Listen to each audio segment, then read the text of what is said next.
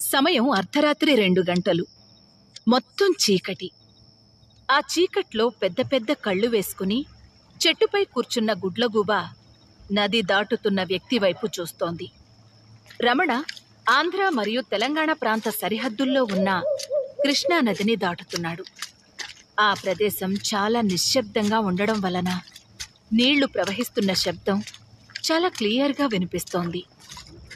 రమణ నదిని దాటుతున్నప్పుడు తన శ్వాస అతనికే బాగా తెలుస్తోంది. ఆకాశంలో నల్లటి మేఘాలు కమ్ముకుని ఉన్నాయి. వాటిని చూస్తుంటే ఏ క్షణంలోనైనా భారీగా వర్షం కురిసే అవకాశం ఉందనిపిస్తుంది.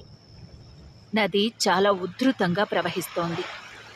రమణ తన వాచీని చూసుకుంటూ బాగా ఆలస్యమైంది. ఇంటి దగ్గర నా ముద్దుల భార్య వసుధ నా కోసం ఎదురు చూస్తుంటుంది అనుకుంటూ చాలా జాగ్రత్తగా ఆ ప్రవహిస్తున్న నీళ్ళల్లో నెమ్మదిగా నడుస్తూ నదికి అటువైపు ఉన్న వాళ్ళ ఊరికి వెళ్తున్నాడు. ఒక చేతిలో మొబైల్ మరొక చేతిలో సైకిల్తో నడవడం కొద్దిగా కష్టంగా ఉన్నా మొబైల్ టార్చ్ లైట్ వెలుగులో రమణ నదిని మెల్లగా దాటుతున్నాడు. ఒంటరిగా ఉన్నప్పుడే మనిషికి రకరకాల ఆలోచనలు వస్తాయి. పైగా అర్ధరాత్రి అయితే ఇక చెప్పనవసరం లేదు. లోపల కొద్దిగా భయంగా ఉన్నా పైకి మాత్రం ఏదో కూనిరాగం తీసుకుంటూ ముందుకు వెళ్తున్నాడు రమణ. అతన్ని ఎవరో చూస్తున్నట్లు అనిపించి వెనక్కి తిరిగాడు. కాని అక్కడ ఎవ్వరూ లేరు. చెట్టుపై ఉన్న గుడ్లగూబ అతన్నే చూస్తోంది. అదే సమయంలో అతని ఫోన్ పెద్దగా రింగ్ అయింది. రమణకి ఒక్కసారిగా గుండె జల్లుమంది. చేతిలో ఉన్న సైకిల్ కింద పడబోయాడు. ఎలాగోలా బ్యాలెన్స్ చేసుకుని ఫోన్ వైపు చూశాడు. ఆ ఫోన్లో పేరును చూసి కొద్దిగా రిలాక్స్ అయ్యి ఫోన్ తీసి గట్టిగా ఆ వసుధ చెప్పు అన్నాడు. అటువైపు వసుధ. మీరెక్కడి వరకు వచ్చారు? అని అడిగింది. ఇప్పుడే కృష్ణానదిని దాటుతున్నాను. త్వరగానే ఇంటికొచ్చేస్తాలే అని రమణ సమాధానమిచ్చాడు. వసుధ కొంచెం భయంతో కంగారుగా ఏంటి? ఏమన్నారు? మీరు కృష్ణానదిని దాటుతున్నారా? అని అడిగింది. రమణ చిరాకుగా పిచ్చిదానా. వైకుంఠపురం గ్రామం నుండి భైరవకోన రావడానికి ఉన్న ఒకే ఒక దారి ఇదే కదా. తెలిసి కూడా మళ్ళీ అడుగుతావేంటి? అని అంటాడు. రమణ భద్రత గురించి ఆమెలో ఆందోళన మొదలై గొంతులో మరింత భయంతో వసుధ అది నాకు తెలుసులే కానీ రాత్రిపూట ఎవరు నదిని దాటరు కదా? నువ్వింత ఆలస్యంగా నదిని ఎందుకు దాటుతున్నావు? ఆ నదికి కొంచెం దూరంలో శ్మశాన వాటికి దగ్గరున్న సత్రంలో పడుకుని పొద్దున్నే రావాల్సింది. రాత్రిపూట ఆ ప్రాంతంలో ఆమె తిరుగుతుందనే విషయం మనందరికీ తెలుసు కదా? అని అంటుంది.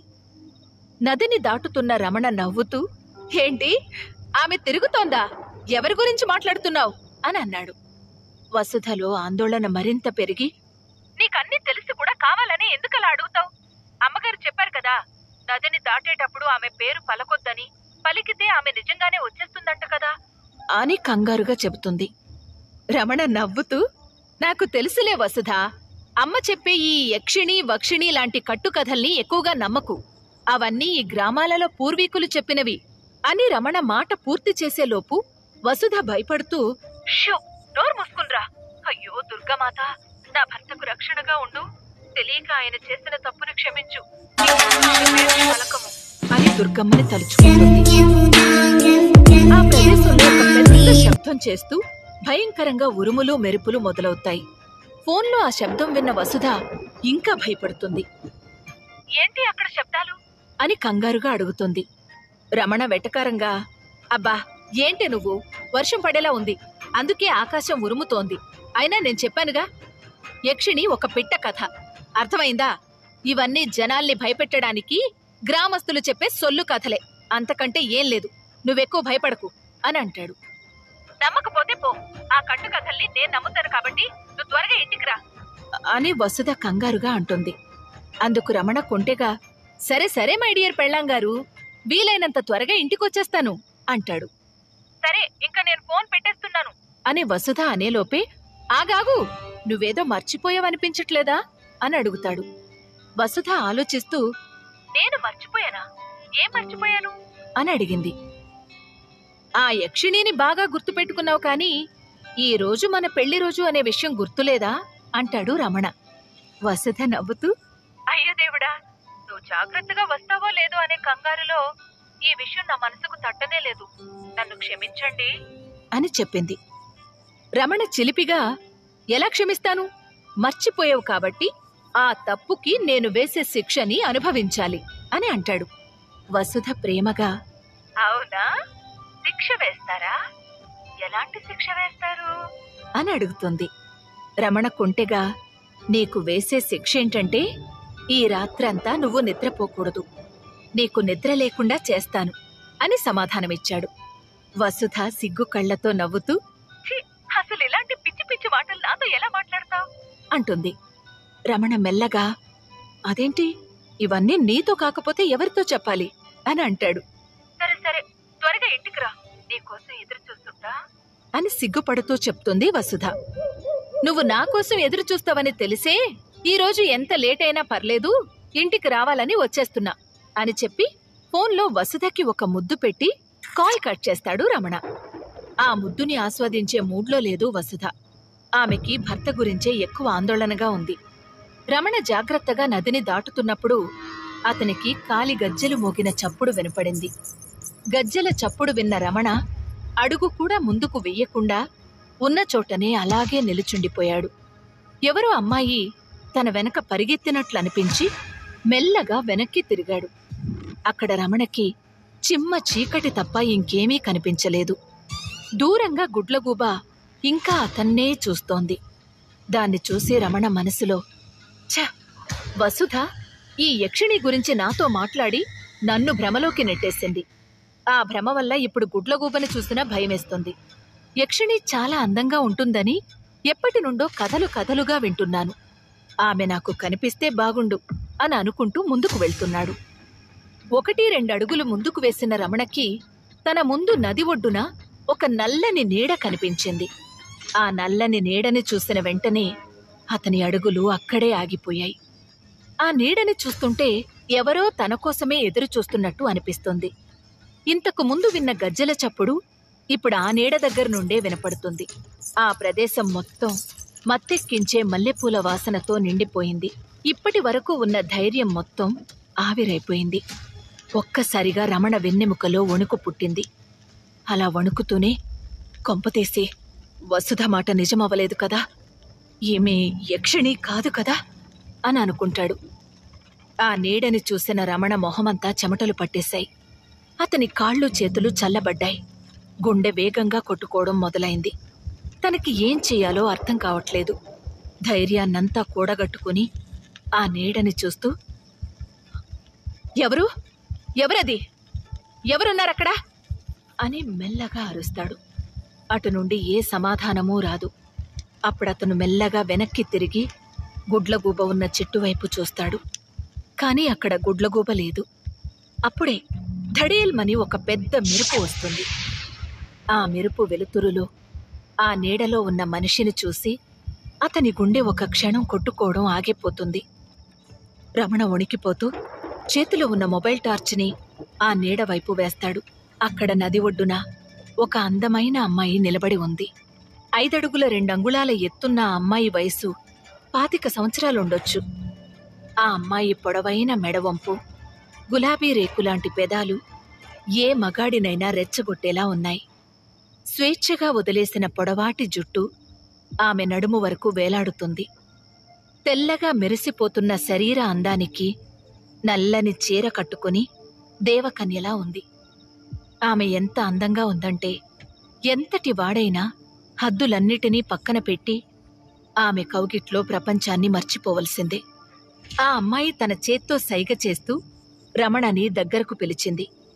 కళ్ళ ముందు అంతటి అందాన్ని చూస్తున్న రమణ యక్షిణీ కథను గుడ్లగూబను పూర్తిగా మర్చిపోయాడు. క్షణం కూడా ఆలస్యం చేయకుండా సైకిల్ని పక్కన పడేసి అతన్ని ఎవరో అయస్కాంతంలా లాగినట్టు వెన్నులో ఏదో కరెంటు పాసైనట్టు వేగంగా ఆమె దగ్గరకు వెళ్ళిపోయాడు. రమణ ఆ అమ్మాయి వైపు చూస్తూ ఎవరు నువ్వు? ఇంత అర్ధరాత్రి ఇక్కడేం చేస్తున్నావు? నీ పేరేంటి? అని వరుసగా ప్రశ్నలు వేస్తున్నాడు. ఆ అమ్మాయి అందంగా నవ్వుతూ పేరు?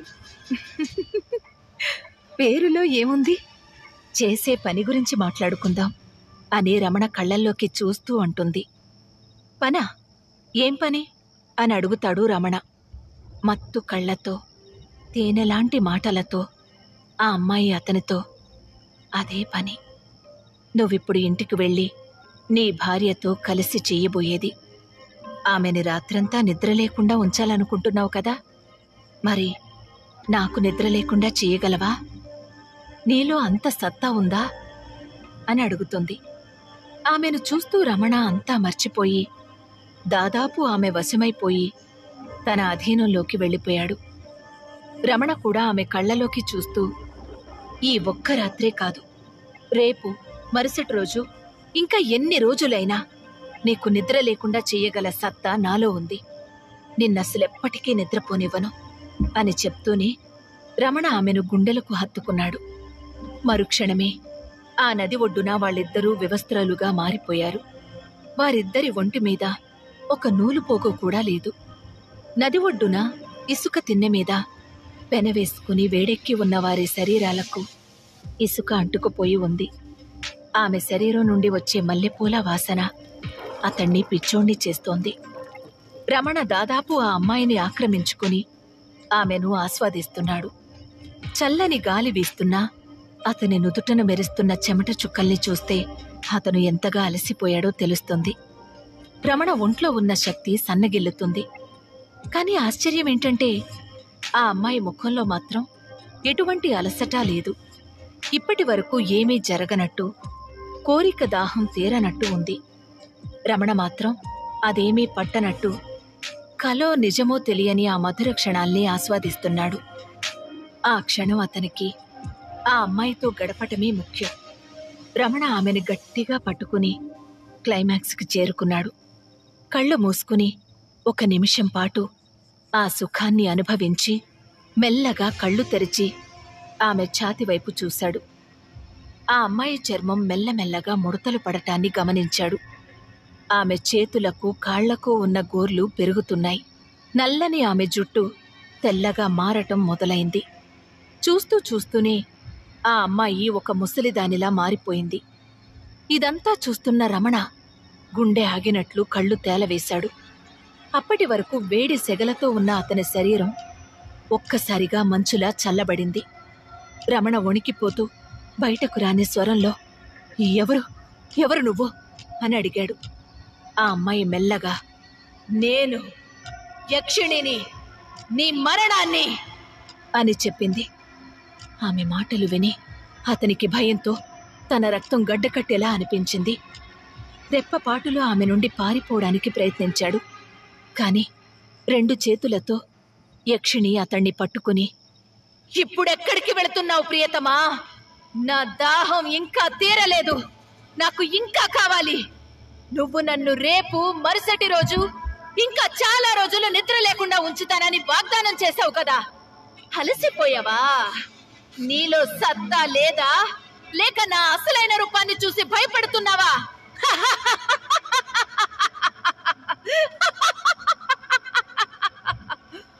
అని గట్టిగా భయంకరంగా నవ్వుతూ అంటుంది. భయంతో అతని శరీరం బిగుసుకుపోయిందని రమణకి అర్థమైంది. అతను యక్షిణి కళ్ళలో తన మరణాన్ని చూస్తున్నాడు. నీలం కళ్ళతో రౌద్రంగా మారిన యక్షిణి నీతి మాలినవాడా? నీ భార్య వసుధ ఇంట్లో నీకోసం ఎదురు చూస్తుందని మర్చిపోయి నువ్వు కామదాహంలో ఇక్కడ నాతో ఉన్నావు. మీ మగాళ్ళందరూ ఒక్కటే. మీరు ఎప్పటికీ ఒకే స్త్రీని ప్రేమించలేరు. ఇంకా మీ కామం ఎప్పటికీ అంతం కాదు. అని చెప్పి యక్షిణి తన చేతిని రమణ ఛాతి మీద వేసింది. ఆమె పొడవాటి నల్లని గోర్లు కత్తులుగా మారి అతని ఛాతిలోకి గుచ్చుకుంటున్నాయి. లేదు వద్దు దయచేసి నన్ను వెళ్ళనివ్వు. రమణ భయంతో పాటు బాధతో అరుస్తున్నాడు. ఆ మెరుపుల శబ్దాలలో అతని కేకలు ఏమాత్రం వినపడటం లేదు. రేయ్ మగాడా! సత్తా ఉన్న మొగుడా? చూపి! నీ సత్తా ఏంటో ఇప్పుడు చూపి! అని యక్షిణి రాగం తీస్తోంది. యక్షిణి తన పదునైన గోళ్ళను రమణ ఛాతిలోకి బలంగా దించుతుండగా మేఘాలు చిక్కబడి ఇంకా చీకట్లు కమ్ముకోవడం మొదలైంది. వాళ్ళు ఉన్న చోట ఒక సుడిగుండంలా ఆకాశం నుండి గాలితో కూడిన వర్షం మొదలైంది.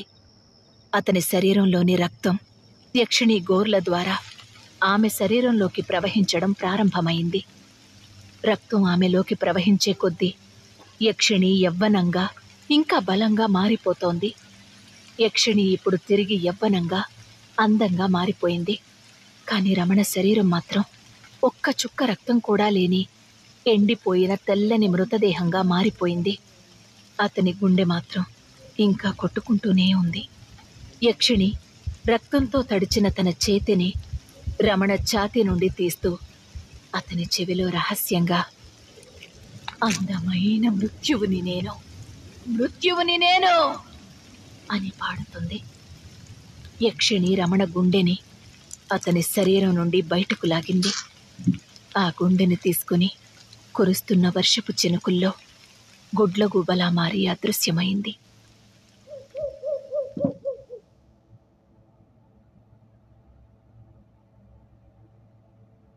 É episódio